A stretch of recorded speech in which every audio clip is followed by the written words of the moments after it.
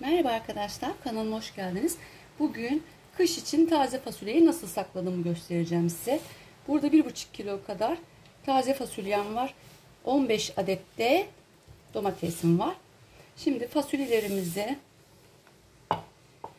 temizleyerek başlayalım. Ben şöyle kenarlarını alıyorum. Şu şekilde doğruyorum.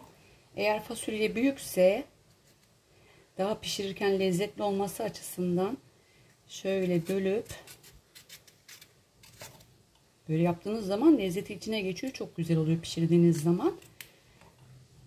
Bu şekilde doğruyorum. Böyle fasulyelerimizi hepsini doğrayalım. Fasulyelerimizi güzelce doğradım. Bunu şimdi ocağa koyacağız. Kavurmaya başlayacağız.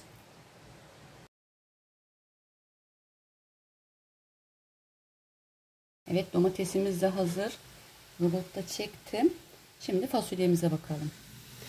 Evet fasulyemizi şöyle 5 dakika kadar kendi suyunda kavurduktan sonra üzerine bir çay bardağı sıvı yağ ekliyoruz. Çok güzel bir şekilde ara sıra karıştıraraktan kavuralım. Evet şöyle bir tencere ya da tavanın içerisine de domatesimizi alalım. Bir tatlı kaşığı kadar tuz ekleyelim. Güzelce kaynamasını bekleyelim. Şöyle 10-15 dakika kadar kaynatalım. Evet fasulyelerimizi şöyle bir tepsinin içerisine aldık soğuması için. Domateslerimiz de yan tarafta soğuyacak. Yalnız ben şu an biraz pişireceğim çünkü çok güzel koktu. Hemen lazım birazını arkadaşlar yine yaparım. Hemen şöyle soğumasını beklerken bu buzluğa attım soğanımdan.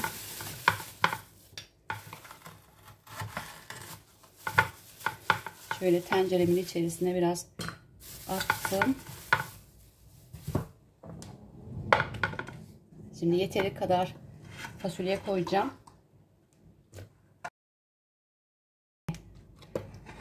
3 kaşık yeter. Ben patates de koyuyorum hep yaparken. Bir tane patates koydum. Çok az sıvı yağ koydum. 3-4 yemek kaşığı kadar. Domates var zaten içinde. Biber salçası, tuz, karabiber.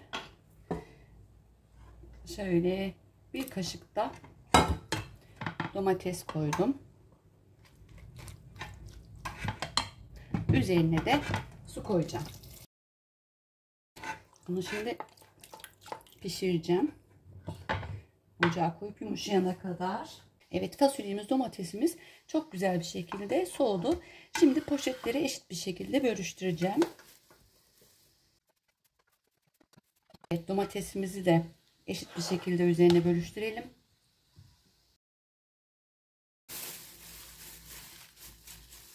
Şöyle havasını aldırıp